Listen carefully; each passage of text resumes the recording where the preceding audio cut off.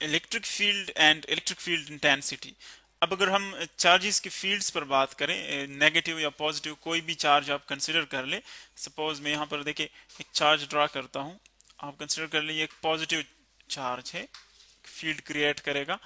Positive charge है तो इसके जो इलेक्ट्रिक फ़ील्ड लाइंस होते हैं, वो हम लेते हैं आउटवर्ड फ्रॉम द चार्ज जो इलेक्ट्रिक फ़ील्ड की डायरेक्शन होती है, वो इससे बाहर की तरफ़ होती है। यहाँ पर अगर एक पॉइंट चार्ज रख ले इसके करीब। फॉर एग्ज़ाम्पल ये पॉजिटिव चार्ज है पॉजिटिव तो अगर आप इसके करीब एक चार्ज लग रहे दूसरा टेस्ट पॉजिटिव चार्ज तो वो रिपेल होगा, क्योंकि दोनों पॉजिटिव होंगे। तो इसीलिए इनकी जो हमारे पास इलेक्ट्रिक फ़ील्ड है इलेक्ट्रिक फ़ील्ड लाइंस वो इस पैटर्न में होंगे। देखिए, ये है इलेक्ट्रिक फ़ील्ड की पैटर्न इलेक्ट्रिक फ़ील्ड लाइंस तो हम इसको यूँ ड्रॉ करेंगे।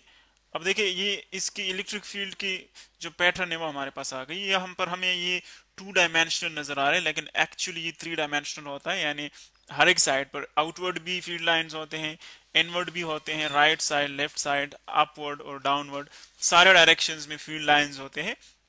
सो पेपर के ऊपर टू डायमेंशन में इसको यूँ ड्रा करते हैं।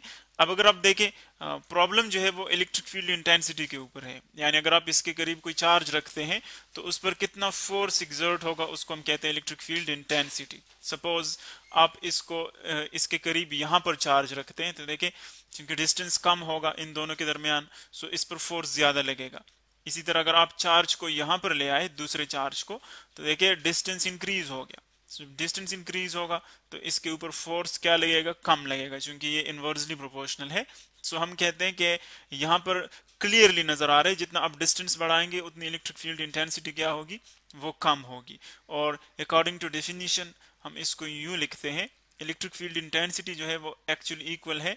Force force exerted per unit charge एक यूनिट चार्ज आप रखते हैं किसी इलेक्ट्रिक फ़ील्ड के अंदर तो उस पर कितना फोर्स एग्जर्ट होता है, उसको हम कहते हैं इलेक्ट्रिक फ़ील्ड इंटेंसिटी अगर आप इन दोनों की कंपेयर कर रहे इलेक्ट्रिक फ़ील्ड इंटेंसिटीज सो यहाँ पर आप देख रहे हैं कि जो ये वाला पॉइंट है, यहाँ पर अगर चार्ज पड़ा है तो इसकी सपोज़ मैं लेता हूँ E one electric field intensity यानी इस पर जो फोर्स लगता है, उसको मैं इंटेंसिटी वन से डिनोट करता हूँ यूनिट चार्ज पर, और यहाँ पर इस पर जो इंटेंसिटी है वो है ई टू सो हम क्लियरली कह सकते हैं कि यहाँ पर ई e वन जो है वो ग्रेटर होगी ई e टू से। क्योंकि उसका डिस्टेंस कम है ई e वन का तो इसीलिए वो फ़ील्ड के ज़्यादा करीब होगा और हम कहते हैं कि उसकी जो इलेक्ट्रिक फ़ील्ड इंटेंसिटी है इस पॉइंट पर वो ज़्यादा होगी। सो so, अगर आप इसके स्टेटमेंट को देखें when a charge of ten coulomb एक चार्ज है ten coulomb is placed at a distance at a point it experience is a force of ten raised power minus four newtons यानी आपने एक चार्ज रखा है जिसका मैग्नीट्यूड 10 कूलम्स है और उस पर कितना फोर्स लग रहा है? 10 raised power minus four newtons find the value of electric field intensity at this point देखिए, यहाँ पर ये बहुत सिंपल प्रॉब्लम लग रहा है, लेकिन इसको हम एक्सटेंड भी कर सकते हैं मुख्तलिफ़ तरीकों से. फ़र्स्ट देखिए गिवन है हमारे पास इलेक्ट्रिक सॉरी जो इलेक्ट्रिक चार्ज है, उसकी वैल्यू गिवन है. कितनी, उसकी मैग्नीट्यूड कितनी है? क्यू को मैं डिनोट करता हूँ इसको चार्ज को क्यू से। उसकी वैल्यू गिवन है टेन कूलम्स उसकी वैल्यू गिवन है और इसी तरह इसके ऊपर जो फोर्स एग्जर्ट हो रहा है, दूसरे फ़ील्ड की वजह से वो है ten raise to power minus four newtons ten raise power minus four newtons find the value of electric field intensity इस फोर्स के इस फोर्स की वजह से इस चार्ज के ऊपर इलेक्ट्रिक फ़ील्ड इंटेंसिटी कितनी होगी इस पॉइंट के ऊपर। यानी जो फ़ील्ड इस पर फोर्स एग्जर्ट कर रहा है, उसकी वजह से यहाँ पर इलेक्ट्रिक फ़ील्ड इंटेंसिटी क्या होगी। अगर आप यहाँ पर देखें, सो चूँकि ये फोर्स ये फ़ील्ड प्रोड्यूस कर रहा है, ये चार्ज तो इसीलिए इसको हम क्या कहेंगे? Source charge. जो चार्ज फ़ील्ड प्रोड्यूस करेगा उसको हम कहेंगे सोर्स चार्ज और सोर्स चार्ज की वजह से एक्चुअली हमारे पास होती है इलेक्ट्रिक फ़ील्ड इंटेंसिटी इन मुख्तलिफ़ पॉइंट्स पर उनकी फिर वैल्यू जो है वो मुख्तलिफ़ हो जाती है. सो so, आप देख रहे हैं कि हम अकॉर्डिंग टू डेफिनेशन ये सिंपली इस मैथमेटिकल एक्सप्रेशन को यूज़ करके सॉल्व कर सकते हैं. क्योंकि क्यू और एफ़ की दोनों जो वैल्यूज़ है वो गिवन है सो so, आप यू लिख सकते हैं इलेक्ट्रिक फ़ील्ड इंटेंसिटी अगर हम इसको वेक्टर फॉर्म में लिखें तो फिर यू आ जाएगा. क्योंकि फोर्स वेक्टर है तो इसीलिए इलेक्ट्रिक फ़ील्ड इंटेंसिटी भी वेक्टर क्वांटिटी है एफ़ बाई क्यू अब इनमें सिंपली वैल्यूज़ पुट कर ले। एफ़ की वैल्यू है ten raise power minus four ten raise power minus four newton divided by charge की वैल्यू है टेन कूलम्स सो देखिए, दोनों, अगर आप ten raise power minus four और टेन को देखें, दोनों का बेस सेम है। इसका पावर है माइनस फोर और इसका पावर है प्लस वन कुछ नहीं गिवन हो तो प्लस वन होगा।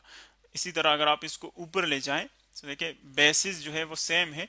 इसको ऊपर ले जाएँ, ऊपर हमारे पास है ten raise power minus four इसको ले जाएँ तो ये बन जाएगा ten raise power minus one plus one है सो ऊपर जाकर इसका जो साइन है वो चेंज हो जाएगा।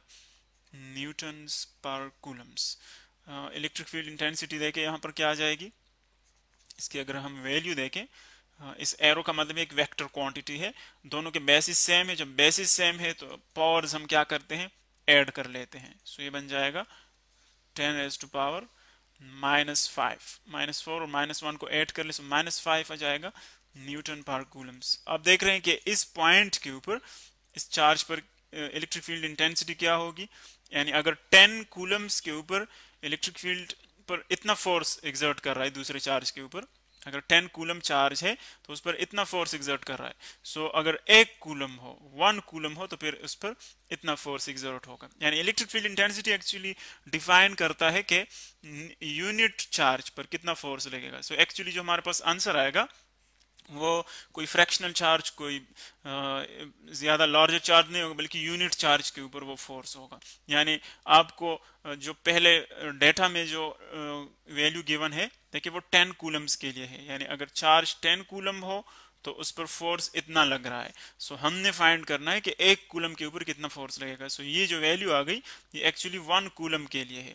वन कूलम के ऊपर इतनी जो है फोर्स एग्जर्ट होगी। इसी तरह अगर आपको चार्जेस गिवन हो डिस्टेंस गिवन हो तो देखिए ई e को आप एक और तरीके से भी कैलकुलेट कर सकते हैं। यहाँ पर हमारे पास डेटा इनसफिशेंट है लेकिन मुख्तलिफ़ सिचुएशंस में हम इसको यूज़ कर सकते हैं। E is equal to F by Q force exerted per unit charge अब फोर्स जो है अकॉर्डिंग टू कूलम्स लॉ वो हमारे पास इक्वल है K Q one K Q one Q two divided by R square ये एफ़ की value आ गई और whole divided by Q so एक जो पॉइंट चार्ज है क्यू इसमें से कोई भी आप पॉइंट चार्ज ले सकते हैं। क्यू वन है या क्यू टू है फॉर एग्ज़ाम्पल सो वो इस क्यू के साथ फिर कैंसिल हो जाएगा। सो इलेक्ट्रिक फ़ील्ड की जो इलेक्ट्रिक फ़ील्ड इंटेंसिटी की जो वैल्यू है इस फॉर्म में, वो हमारे पास आ जाएगी K Q divided by R square क्योंकि एक क्यू जो है वो एक के साथ कैंसिल हो जाएगा so K Q by R square आ जाएगा. यानी अगर आपको क्यू और डिस्टेंस जो है वो गिवन हो सो फिर आप इस फॉर्मूले को यूज़ करके इलेक्ट्रिक फ़ील्ड इंटेंसिटी कैलकुलेट कर सकते हैं।